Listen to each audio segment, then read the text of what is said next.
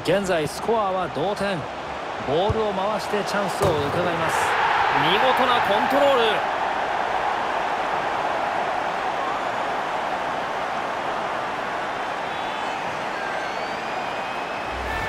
ル。映像が来ました。丁寧にパスをつないで相手の隙を伺っていましたね。